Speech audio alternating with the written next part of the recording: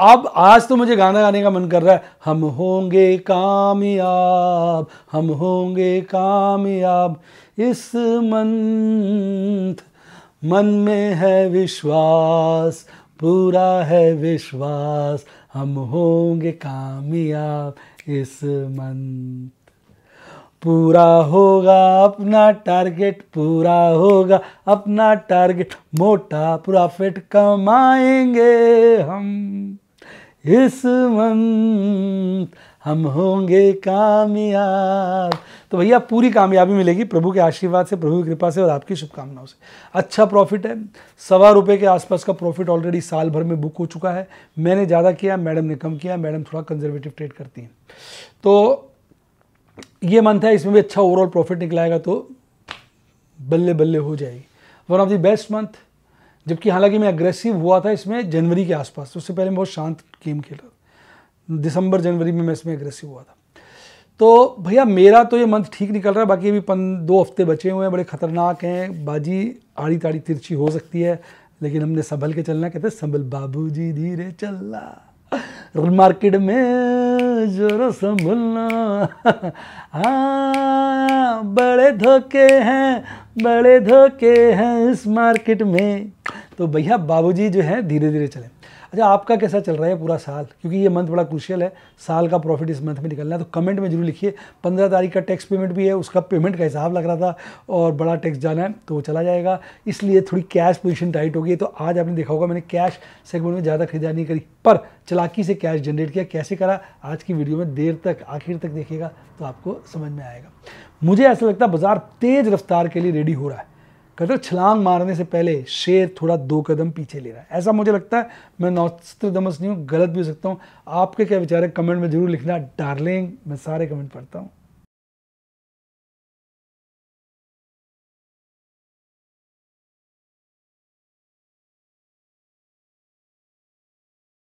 Share बाज़ार बहुत ही खतरनाक जगह है। यहाँ एक भूल ही फाइनेंशियल तबाही के लिए काफ़ी है। मैं केवल एजुकेशनल वीडियोस ही बनाता हूँ। मैं कोई बाय सेल रिकमेंडेशन नहीं देता हूँ। चर्चा किए गए स्टॉक उदाहरण के लिए हैं और खरीदने या बेचने की कोई रिकमेंडेशन नहीं है। मेरा यह मानना है कि शेयर बाज़ार में निवेश किसी के कहने पर नहीं करना चाहिए, बल्कि अपने रिस्क एपिटाइट और जानकारी के हिसाब से करना चाहिए। सदा याद रखें, जिसने ली टिप उसकी हुई डिप शेयर बाज़ार में निवेश जोखिमों के अधीन है। निवेश करने से पहले सभी संबंधित दस्तावेजों को ध्यान से पढ़ें। हाय गाइस आपका स्वागत है आपके अपने show M K J talks for investment in Hindi में। हा, हा, हा, कैसे हैं आप? भाई देखिए आज शेयर बाज़ार में फिर मतलब अजीब सी हलचल रही। अगर मैं एक बारी को सभी बाज़ारों की चर्चा करूँ और आपको बताऊँ अभी क्या चल रहा है तो आप जान के हैरान होंगे कि आज एशियाई बाज़ार ओवरऑल ठीक थे। जो आपके जापानी बाज़ार सुबह बहुत गिर गए थे, शाम को फ्लैट ही बंद हुए हैं। Just point zero five percent गिर कर बंद हुए हैं। ऑस्ट्रेलिया भी फ्लैट बंद हुआ है, लेकिन पॉइंट वन वन परसेंट चढ़कर बंद हुआ है। शंघाई गिरा हुआ था S Z S C component और चाइना ए फिफ्टी बढ़कर अच्छा बंद हुआ है। इसके अलावा मज़ेदार तेज़ी हमें हांगकॉन्ग में देखने को मिली, जो तीन परसेंट से ज़्यादा तेज़ था। और यही हाल कॉस्पी का था एक परसेंट के लपेटे में तेज बंद हुआ। यूरोप के बाज़ार भी आज खुशियाँ मना रहे थे। ऐसा लग रहा था, आओ बांटो, आओ साथी, खुशी मनाओ, आज दिवाली रे। मैं तो लूँगा कविता पढ़ते थे मैं तो लूँगा खेल पिता से, तुम भी लेना भाई। नाचो, गाओ, खुशी मनाओ, आज दिवाली आई। यानी आज जो है, हर जगह दिवाली सी बन रही है। सारा का सारा यूरोप हरे में, और आपको तेज़ी एक डेढ़ परसेंट तक की भी देखने को मिलेगी कई बाज़ारों में। अब अगर मैं चलता हूँ अमेरिका की तरफ़ तो चारों इंडेक्स तेज हैं और नेस्डेक तो सवा परसेंट की तेज़ी के साथ झंडे गाड़ रहा है और यही हाल कनाडा और ब्राज़ील का हालाँकि Canada point two five percent चढ़ा हुआ है और Brazil point seven five percent चढ़ा हुआ है। इसके विपरीत अगर मैं अपने बाज़ारों की बात करूँ तो अपने बाज़ार तो भाई साहब, आज फ्लैट ही बंद हुए। निफ्टी फिफ्टी फ्लैट था just point zero one percent बढ़कर बंद हुआ। और निफ्टी बैंक की बात करूँ तो वो तो लालियाली में हल्की फुल्की 45.45 पॉइंट गिरकर 0.1 परसेंट की गिरावट के साथ बंद हुआ। अब अगर हम बात करते हैं भाई फियर फैक्टर की तो फियर फैक्टर में लगातार गिरावट आ रही है, यानी मार्केट मूड इम्प्रूव हो रहा है। अब बड़े दिनों के बाद मार्केट मूड जो है पाँच मार्च के बाद पहला दिन था जब 40 के पार गए तो हो सकता है कल और परसों एक अच्छी, कहते हैं, मजबूती देखने को मिले। आज हालाँकि मैं ये कहूँगा ये थोड़ा नेगेटिव है कि यूएस डॉलर इंडेक्स बढ़ गया हल्का सा फिर से 103 के ऊपर चला गया। कल बड़े दिनों के बाद 103 के नीचे आया था, मैं बड़ा खुश था। ब्रेंड क्रूड ऑयल फिर से बयासी के ऊपर चला गया है। रुपया अभी तिरासी के नीचे है, ठीक है, पर टेन ईयर ट्रेजरी यील्ड भी थोड़ी सी बड़ी है। यानी आज चारों अंतर्राष्ट्रीय इंडिकेटर्स मतलब ज़्यादा तो नहीं, पर थोड़ा सा नेगेटिव ही है। पर हमारे एफ़ कहते, जाने कहाँ मेरा जिगर गया जी? अभी अभी यहीं था किधर गया जी? माल रोज एफ़ आई खरीद रहे जी। अब बड़े दिनों बाद ऐसा हो रहा है एफ़ रोज माल खरीदे देखो, चार दिन का डाटा चारों दिन का ग्रैंड टोटल देखो, हरा है। तो ये एक बहुत बड़ा संकेत है कि कोई बड़ी तेज़ी छुपी हो। और डी भी देखो, कितना ज़्यादा खरीद रहे हैं। मुझे लग रहा है एच एन आई इन्वेस्टर्स की लगी हुई है वाट, वो माल बेच रहे हैं, बाकी सब खरीद रहे हैं। तिहत्तर पॉइंट तिहत्तर करोड़। कैश सेगमेंट में खरीदारी इंडेक्स में 442 और फ्यूचर्स बहुत ज़बरदस्त खरीदे हैं 2100 करोड़ के आसपास। 2610 करोड़ की नेट खरीदारी, तेईस करोड़ की कैश सेगमेंट में डी की खरीदारी। कैश सेगमेंट में आज फिर ढाई हज़ार करोड़ के आसपास की नेट खरीदारी आई, जो कि एक बहुत बड़ा ही फेवरेबल फैक्टर है। अभी भी एफ़ की लॉन्ग अगर हम इंडेक्स में कहें रीजनेबल है स्टॉक्स में कहें रीजनेबल है, अभी ऊपर की काफ़ी गुंजाइश छूटी हुई है। आज अगर मैं बात करूँ एनएससी के ऊपर तो 324 शेयर बढ़े, उन्नीस सौ उनतीस शेयर घटे। लार्ज कैप में मस्ती है मिड कैप स्मॉल कैप की लगी हुई है बस्ती।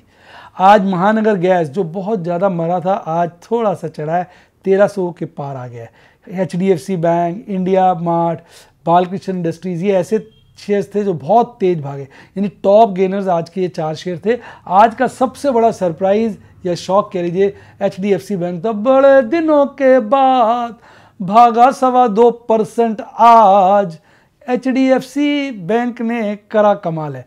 आज डी एल एफ़ की वाट लगी हुई थी, पाँच परसेंट से ज़्यादा गिरा हुआ था। हिंदुस्तान कॉपर नैल्को और गोदरेज प्रॉपर्टी ऐसे शेयर थे जिनमें चार परसेंट से बड़ी गिरावट देखने को मिली, यानी इन शेयरों में कहीं ना कहीं हाहाकार मचा हुआ था। अब निफ्टी फिफ्टी की बात करूँ तो निफ्टी फिफ्टी आज रेंज बाउंड रहा। 200 पॉइंट्स की मूवमेंट में घूमता रहा 200 पॉइंट वैसे अच्छा होता है। कल बंद हुआ था बाईस तीन पर। आज बिल्कुल फ्लैट बिल्कुल फ्लैट। हालाँकि हरे में ओपनिंग करी थी, बाईस तीन पर। फिर पीक शुरू के दौर में बना लिया, बाईस चार का। लाइफ टाइम हाई से पिचहत्तर पॉइंट दूर। फिर एकदम गिरा, बॉटम बनाया, बाईस हज़ार दो सौ छप्पन का। फिर रेंज बाउंड घूमता रहा, अल्टीमेटली बाईस हज़ार तीन सौ पैंतीस। बस नाक ही नहीं कटवाई हरे में बंद हो गया अदरवाइज़ तो इसकी बैंड आज बढ़ गई थी।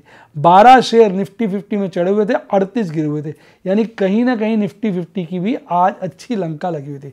आज का दिन जो बचाया बिग बॉस ने बचाया, एक एचडीएफसी बैंक रिलायंस भी पॉजिटिव में बंद हुआ है। T C S L N T M Maruti Suzuki Infosys Eicher motor Bharti Airtel ने गेन के साथ आज बंद करें। और गिरने वालों में Adani enterprise Cipla Grasim Adani ports s और बजाज ऑटो और जे स्टील में देखने को मिली।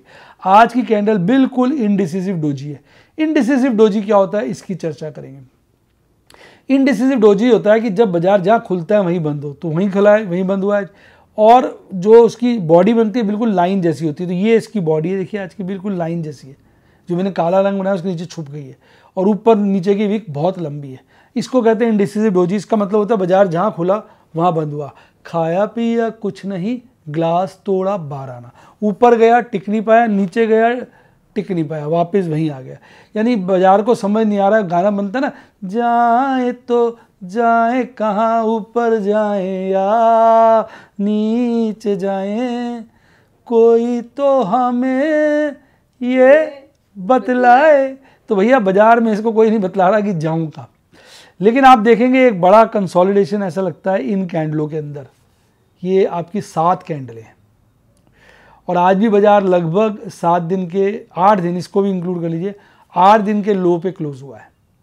तो बाज़ार, हालाँकि कल से थोड़ा ऊपर क्लोज हुआ ना, कल आठ दिन का लो था।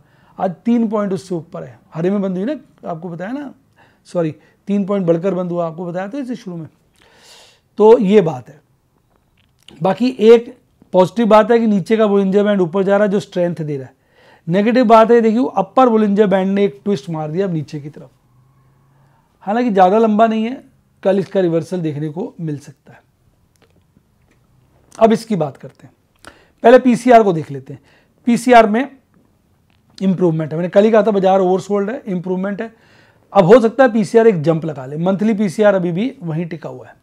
अब बात करते हैं ऑप्शन चेन एनालिसिस की। बारह दो तीन सौ पैंतीस में बाज़ार बंद हुआ। बाईस तीन सौ पे देखिए कॉल राइटिंग कम है पुट राइटिंग ज़्यादा है।